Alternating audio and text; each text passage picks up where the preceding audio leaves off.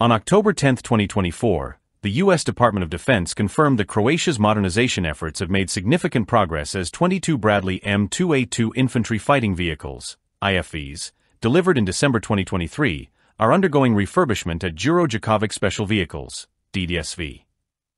So far, three vehicles have completed the process, marking a key step forward in Croatia's military modernization program. The initial batch of 22 Bradley M2A2 Operation Desert Storm ODS vehicles arrived in Croatia through the port city of Rijeka in December 2023. This delivery is part of a broader $196 million procurement deal from January 2022, which involves acquiring 76 IFVs. The refurbishment and modernization of these vehicles aim to bring them up to NATO standards, ensuring Croatia's military forces remain competitive and interoperable within the alliance. The modernization project, overseen by the U.S. government as part of a Foreign Military Sale FMS, focuses on enhancing the Bradleys to meet the demands of contemporary battlefields. This includes an investment of $757 million to overhaul engines, transmissions, and communication systems, while adding advanced weaponry, like TOW anti-tank missiles. These upgrades significantly improve the vehicle's situational awareness and firepower, aligning Croatia's military with NATO's operational standards. The Bradley M2A2 IFVs being refurbished for Croatia will feature major enhancements. Weaponry asterisk The vehicles will be equipped with M240 machine guns, TOW-2A and TOW-2B anti-tank missiles, and bunker buster missiles to boost firepower. Defense Systems asterisk enhanced armor and smoke grenade launchers will provide better protection for the crew, making the Bradleys more effective in high-risk combat environments. Communication and electronics asterisk upgraded communication systems and situational awareness tools ensure the Bradleys can operate effectively within NATO frameworks, enabling smoother coordination during joint missions. Training and maintenance support, as well as spare parts, are also part of the deal to ensure Croatia can maintain the upgraded fleet over time. The program involves close collaboration between the U.S. Army Security Assistance Command, USASAC, BAE Systems, and Raytheon, with U.S. personnel providing training and technical support. The modernization effort is centered at DDSV, where extensive refurbishment work is being conducted.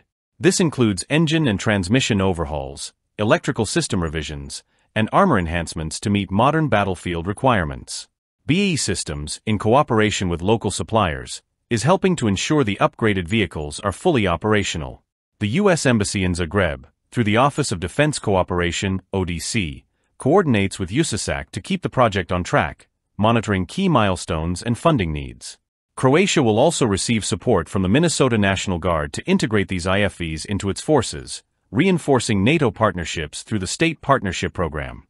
The Bradley M2A2 ODS model represents a significant leap from the original M2A1 IFV, which first entered service with the U.S. Army in the late 1980s. Designed to enhance survivability and combat efficiency, the M2A2 ODS incorporates additional armor protection, improved drivetrains, and advanced targeting and situational awareness systems. Key improvements post-Gulf War include increased protection asterisk additional armor for the hull and turret, as well as internal spall liners, improve crew survivability. Enhanced firepower asterisk the 25mm M242 Bushmaster chain gun and TOW missile launchers provide superior firepower compared to Croatia's older M80 IFVs.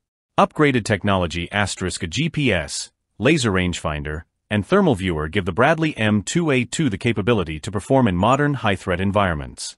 The acquisition and modernization of the Bradley M2A2 IFVs reflect Croatia's ongoing commitment to modernize its military and align with NATO operational standards.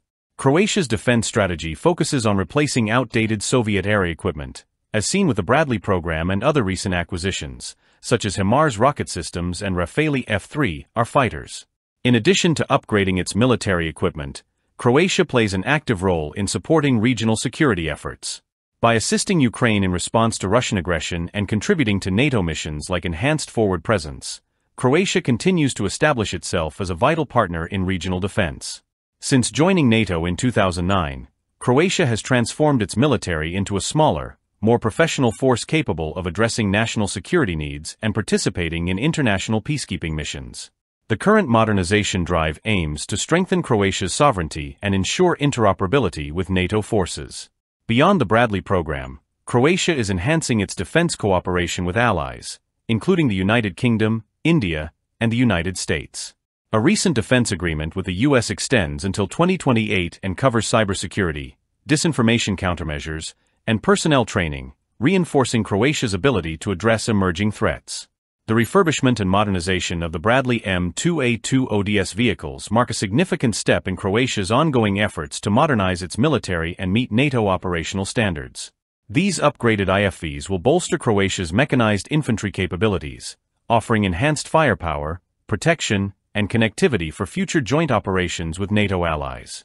As Croatia continues to upgrade its defense infrastructure, its role as a regional security leader and NATO partner will only grow stronger.